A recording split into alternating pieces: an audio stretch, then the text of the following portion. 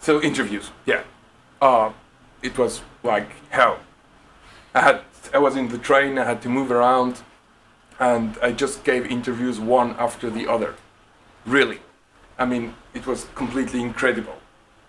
Um, we quick, quickly decided that we're gonna make a press conference uh, where we're gonna explain once for all uh, the situation um, and use the Swiss press ag- agency to, to announce that press conference. But anyway, we made further interviews. For example, radios uh, where they want to have your voice. So a press conference is not very interesting for them. It's more for press agencies or uh, maybe television or um, the press, the paper press. So we had our press conference where the National Press Agency was present, the Associated Press, Keystone the guys doing pictures and, and selling them, and uh, local press.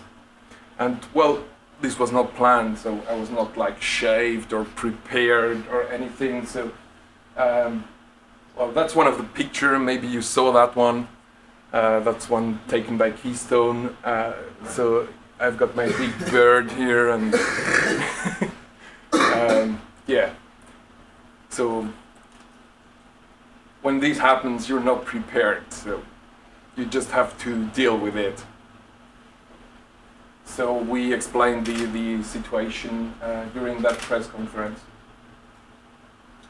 And quickly, the next day, we wrote an email to the .ch registry asking them if they had any plan to cut off the wikileaks.ch and we were surprised positively by their answer.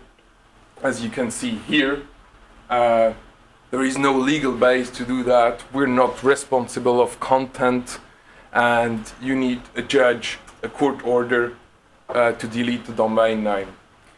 We did that to switch switch is the um, academic network responsible for ch and uh, we also did that at the Federal Office of Communication, and they replied exactly the same.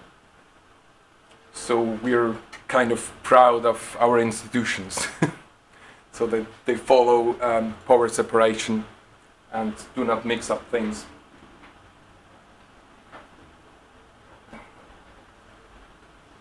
Then the next three weeks, um, yeah, CNN, Wall Street Journal, Al Jazeera, Associated Press, almost every national TV and radio. uh, I can't count them. I, I can't tell you who. I mean, it was one after the other, um, and press in Switzerland. Um, and I, I was not able to actually work for three weeks. I'm in minus 96 hours of work which I need to get back somehow. um, but uh, lucky for me, my um, employer is a pirate. and uh, and understood the situation that this is very exceptional. This is very unlikely to occur again in the next 10 years. I mean, even the large and established parties in Switzerland were kind of jealous of our media coverage. they never had that, even when we forbid building of minarets. There was not such a media coverage on the international level.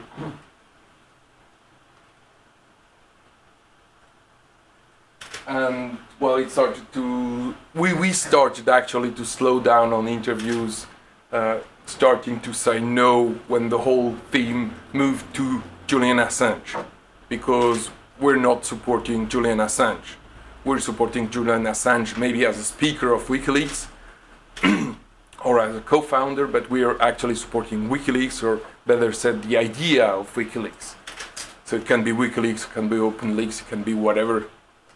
It doesn't really matter.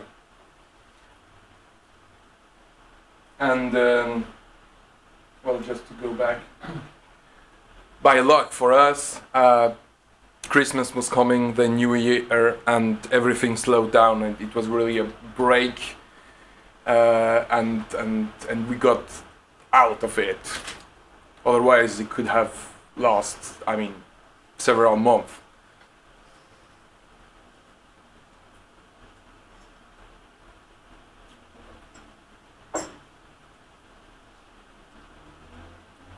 So I call this post media time 2011. So what you need to do is when you get that media attention, you need to bounce on the events to bring your agenda. And we were thinking about that in the, in the beginning of December when the whole thing started. What are we going to say? Um, how do we bring the Swiss agenda in, in the topics? I mean, it's useless when you talk to CNN, but it's very useful if you talk to uh, national media. Um, so what what do you bring? You need to bring something new. So we entered, invented a new word that was actually not existing in Switzerland. Maybe it exists in some other countries, but we invented digital policy. And we were claiming that we have a digital policy and no other party has. And they are lost behind and we're forward. Um, so that's, that attracted really attention from the other parties. Some stating uh, that, for example, the, the Christian Democrats uh, saying that their C was also for cyber and that since 10 years and stuff like that. It was quite funny.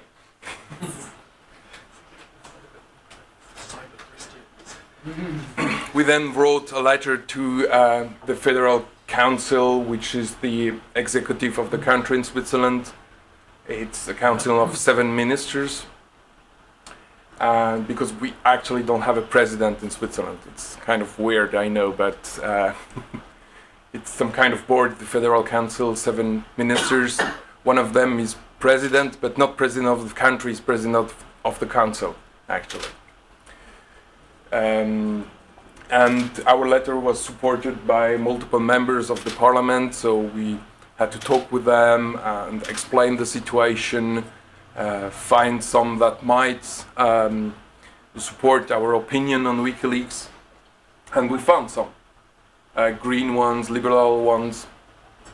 So that that really brings credibility when you have established politicians supporting one thing you do.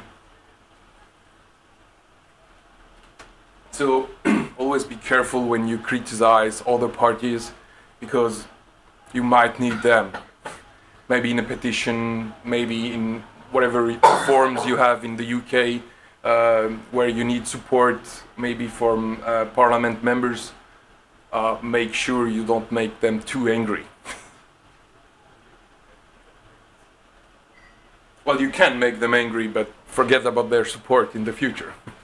So choose, choose, choose your enemies wisely.